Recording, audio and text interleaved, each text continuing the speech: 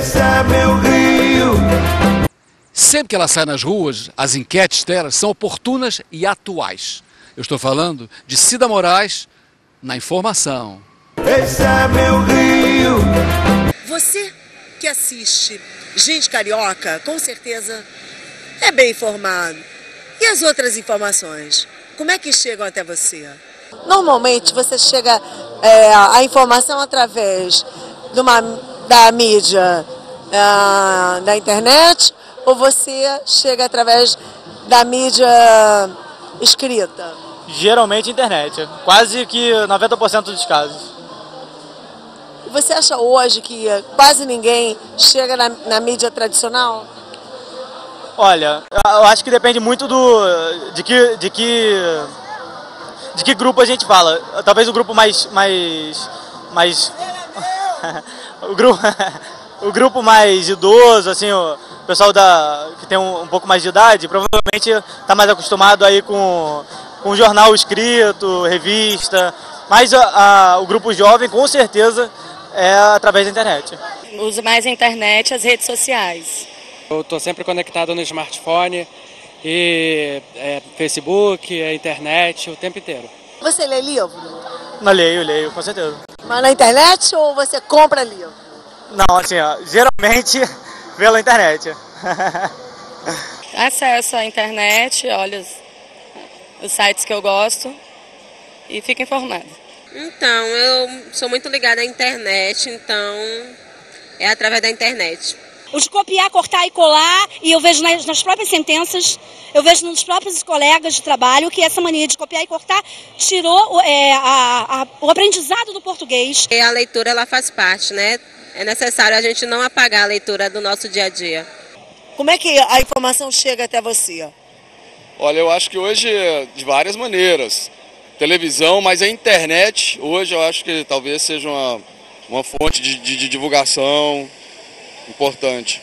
Eu estou contaminado pela internet. Internet, atualmente internet. É, infelizmente a gente tem uma baixa grande aí, né, no comércio de, de jornal, mas eu ainda acho uma via importante. Eu, como sou músico, sou ator, às vezes eu vou atrás porque é legal guardar os impressos e tal. E na minha casa sempre, meus pais sempre foram assinantes de jornais, acho que eu adquiri essa cultura de ter o jornal na mão também. Adoro papel. O papel ele, ele alcança uma classe menos favorecida. Então vai demorar um pouco mais, mas eu acredito que seja uma tendência assim, para anos ainda de, de espera. Os livros e os papéis estão uh, perdendo seu valor? Não. Tem gente que tem o vírus mesmo, do contato direto com o papel, precisa desse manuseio. Isso é normal. Mas há aqueles que já estão né, abrindo o canal. O que abriu foi o canal, não mudou nada. Ampliou ampliou tudo, está tudo ampliado agora. Você que assiste Gente Carioca, você, claro, é bem informado. Minha fonte principal é a internet. Não tem como deixar de ler, deixar de usar um livro né, na configuração normal para usar num tablet, usar no, no, no smartphone. Internet também.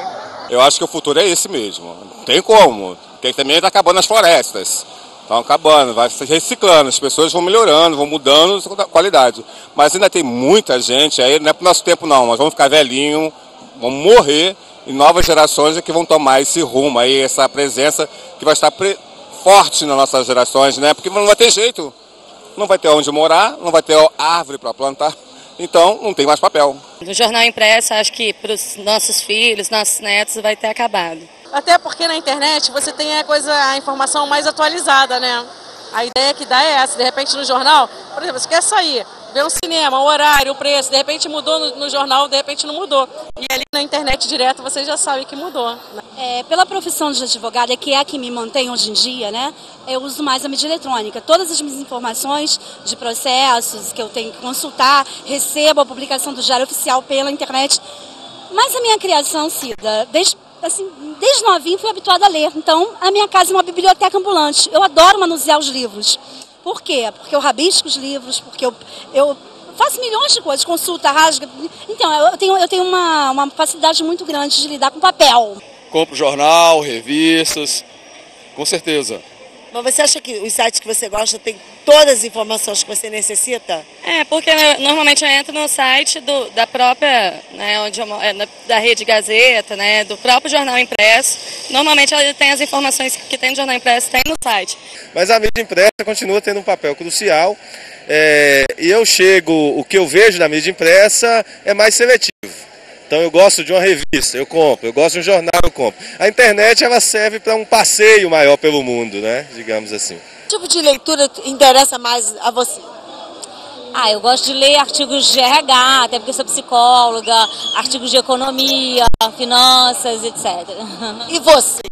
Eu gosto de crônicas e também gosto de ligar da área do meu trabalho também, que é educação. Dizem, né, que a- nem toda informação que tem na internet é a correta. Você concorda? Concordo.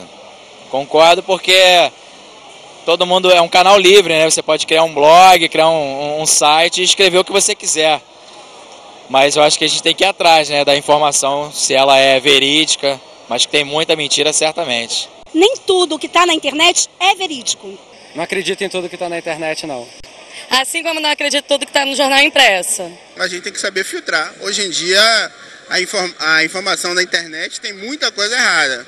A gente tem que buscar fontes legais, fontes confiáveis. É igual fofoca no dia a dia. Você ouve um pouquinho daqui, alguém aumenta um pouquinho dali. Quando chega na internet, às vezes já é outra coisa totalmente diferente da história real. Os próprios sites de relacionamento, na maior parte das vezes, são uma grande mentira. As pessoas dizem que são o que não são, né?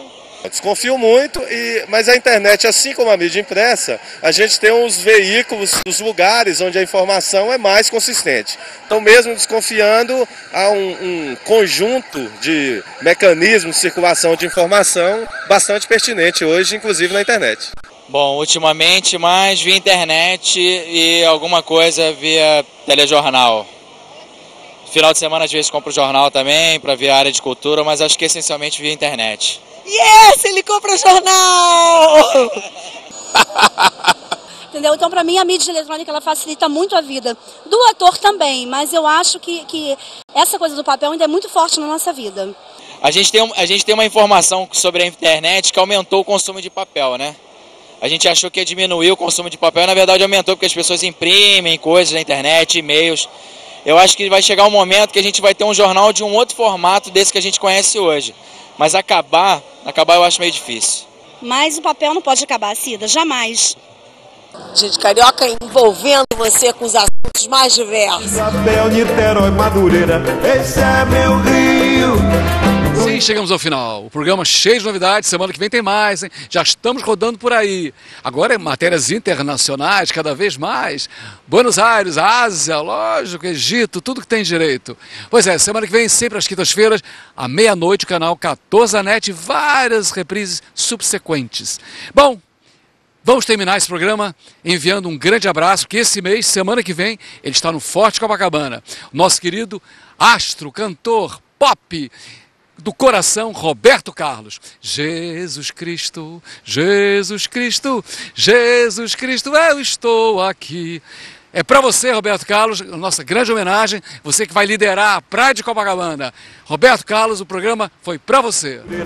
Esse é meu Rio.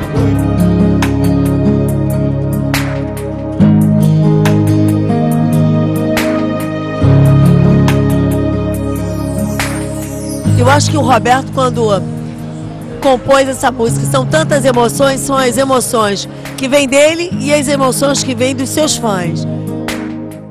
Super Vídeo Locadora. Grande acervo de DVDs e Blu-rays. Pedidos por telefone com inscrição e entregas em domicílio, todos os dias das 10 às 22 horas. O melhor acervo do Rio, Ipanema e Humaitá. Visconde de Pirajá, 86. Telefones 2522-0153, 2522-6893. Largo dos Leões, 81 2266-4547. Super Vídeo Locadora. Aqui você é atendido por quem gosta e entende de cinema.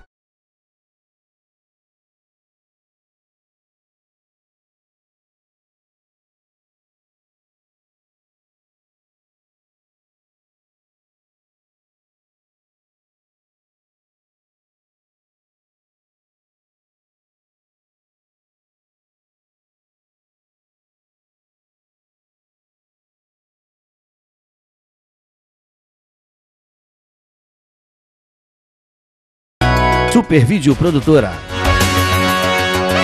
Equipe altamente especializada. Equipamentos de última geração. Guarde suas lembranças para sempre.